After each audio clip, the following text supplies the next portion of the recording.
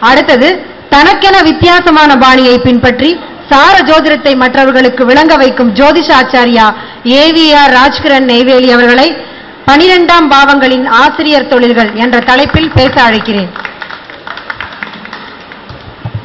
அனைவருக்கும் வணக்கம். இது என்னுடைய முதல் மேடை பேச்சு என்பதனால என்னுடைய உரையை மிக சுருக்கமாக முடித்துக் கொள்கிறேன்.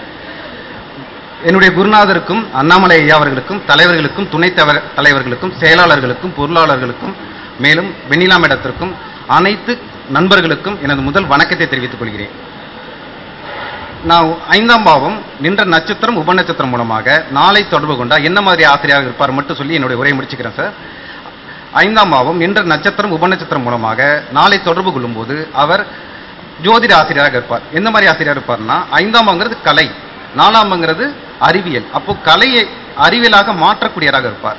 கலைங்கிறது தோராயமாக சொல்லக்கூடியது. உதாரணத்துக்கு அஞ்சையும் அறிவிப்பு இருக்குன்னா முப்பதுன்னு சொல்லுவோம். கரெக்டாக முப்பதுன்னு சொன்னீங்கன்னா அது அறிவியல்.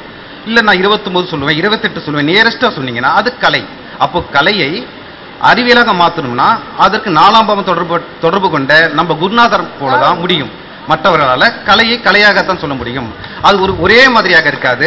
அது மட்டும் இல்லாமல் நூறு மாணவர்களை ஒரே நாளில் உட்கார வைத்து ஒரே மாதிரியான பலனை சரியாக ஒரே விதிகளுக்கு உட்பட்டு சொல்லக்கூடிய அந்த திறமை நம்ம குருநாதருக்கு மட்டும்தான் இருக்கு. அதனால தான் நம்ம குருநாதர் வந்து அந்த ஜோதிடத்தில் அறிவியல் நோக்கி செல்வார் சொல்லுவோம். ஏன்னா இது வரைக்கும் கலையை அறிவியலை நோக்கி சென்றதே கிடையாது. அது செ- செய்ய ஒரே மனிதர் நம்ம குருநாதராக தான் முடியும் சொல்லி